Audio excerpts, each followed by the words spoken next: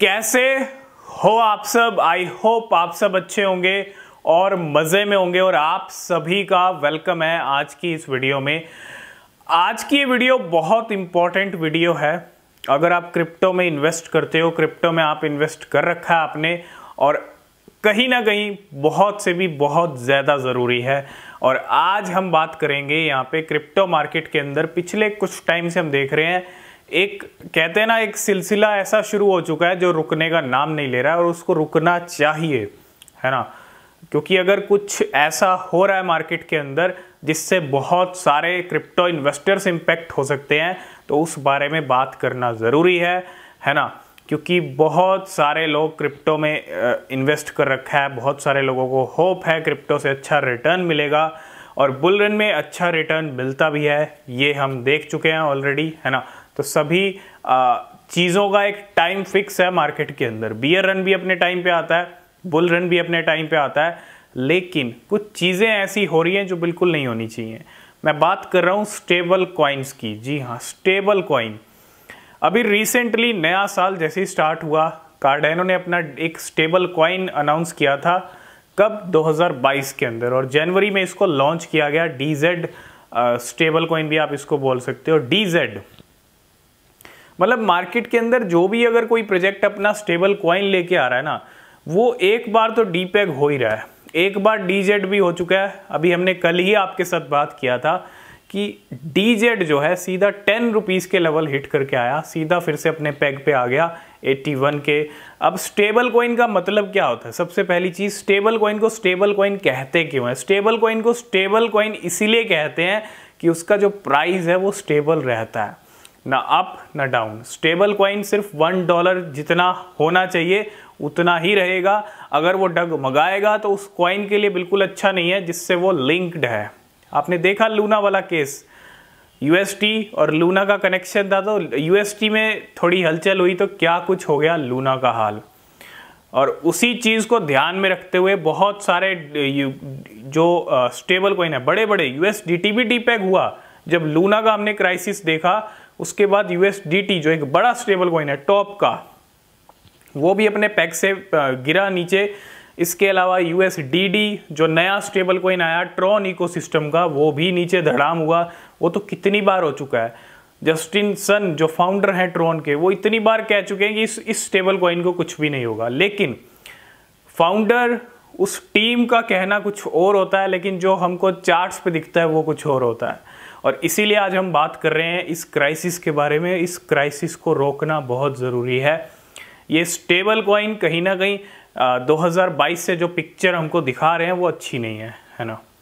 और डीजेड ने भी वही सिलसिला मतलब शुरुआत कर दी। डुबकी लगा के ऊपर आ ज़रूर गया, लेकिन डुबकी लग ही क्यों रही है?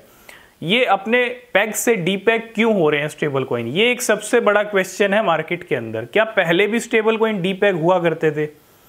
तो पहले इतना ऐसा कोई केस हमको देखने को नहीं मिला, ठीक है, कि बार बार ऐसे कॉइन्स डी पैग होने लग जाएँ। लेकिन 2022 से ही ऐसा इशू क्यों आ रहा है स्टेबल कॉइन्स के अंदर? और अगर इन इस इशू को, जो भी इशू है, जो भी रीज़न है डी पैग होने का, जो भी जिस वजह से भी हो रहा है है ना अगर इन सब चीज़ों को नहीं रोका गया तो डेफिनेटली मार्केट के लिए तो भी अच्छा होंगे नहीं, और उस कॉइन के लिए तो बिल्कुल भी अच्छा नहीं होंगे जिससे वो लिंक्ड है। क्योंकि अब कहीं ना कहीं जो लूना वाला केस हमने देखा है, उसको ध्यान में रखना बहुत ज़रूरी है। अगर आप लूना को भूल गए कि लूना गिरी थी तो सिर्फ़ और सिर्फ़ एक यूएसटीसी की वजह से। लूना अपने आप से नहीं गिरी, उसको गिराया किसने? स्टेबल उसके स्टेबल कॉइन ने ही गिरा दिया। तो ऐसा सिलसिला जो 40 बिलियन डॉलर साफ़ हो गए। इतना बड़ा लॉस दे के गई बहुत सारे होल्डर्स को लूना। तो वैसा केस हम कभी नहीं चाहेंगे क्रिप्टो मार्केट में, हो। लेकिन अगर डीपैग हो रहा है कार्डेनो का ये स्टेबल कॉइन तो कार्डेनो के लिए भी खतरे की घंटी है। यूएसडीडी ट्रॉन के लिए खतरे की घंटी है, जो टी आर एक्स कॉइन है, उसके लिए खतरे की घंटी है। और बाकी जितने भी प्रोजेक्ट्स के खुद के स्टेबल कॉइन्स हैं, हमने बहुत सारे स्टेबल कॉइन्स देखे हैं, जो अच्छे खासे डीपैग हुए हैं। कोई भी ऐसा स्टेबल कॉइन अब बच्चा नहीं है, जो डीपैग ना हुआ हो। मतलब जो बिल्कुल ऐसा खरा स्टेबल कॉइन हो, जो बिल्कुल टस से मस नहीं हुआ। सभी अपने डी पैग हुए हैं और ये डी पैग वाला सिलसिला रुकना पड़ेगा, रोकना पड़ेगा, तभी मार्केट में चीज़ें अच्छी होंगी। अगर नहीं रुके तो चीज़ें बद से बदतर भी हो सकती हैं। मैं आपको डरा नहीं रहा हूँ, मैं ये नहीं कह रहा कि मार्केट क्रैश होने वाला है नहीं। लेकिन ये चीज़ें ठीक नहीं हैं और जो चीज़ ठीक नहीं है, उसके बारे में बात करना भी ज़रूरी है है ना?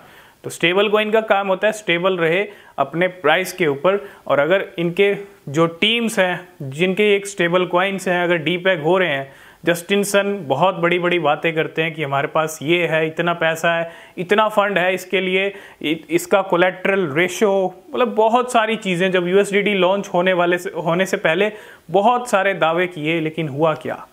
यूएसडीडी तो कितनी बार डीपैग हो गया? कितनी बार डीपैग हुआ है? है ना?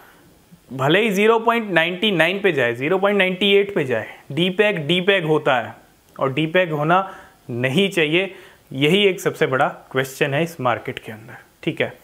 तो आई होप ये चीज़ें जल्दी से जल्दी सॉल्व होंगी स्टेबल कॉइन्स को लेके और मार्केट अपने रंग में चलता रहेगा।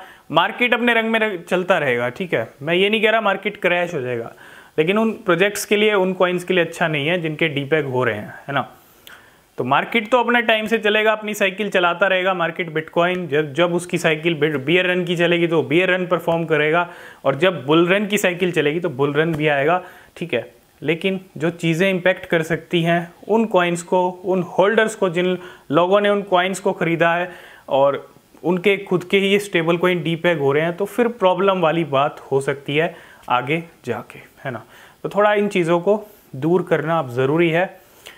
तो आगे इनके ऊपर जो भी अपडेट रहेंगे स्टेबल कॉइन्स के ऊपर हम आपके साथ शेयर करते रहेंगे। बाकी आपके क्या व्यूज़ हैं इस इशू के ऊपर स्टेबल कॉइन्स के ऊपर, बहुत इंपॉर्टेंट है, ठीक है। आप ज़रूर अपने व्यू कमेंट बॉक्स में रखिएगा, ठीक है। और आगे जो अपडेट रहेंगे, आपको मिलते रहेंगे। वीडियो पसंद आया लाइक शेयर कमेंट कीजिएगा, कोई क्वेश्चन कोई सवाल है पूछ सकते हैं। और मिलते हैं नेक्स्ट वीडियो में, तब तक के लिए बाय बाय टेक केयर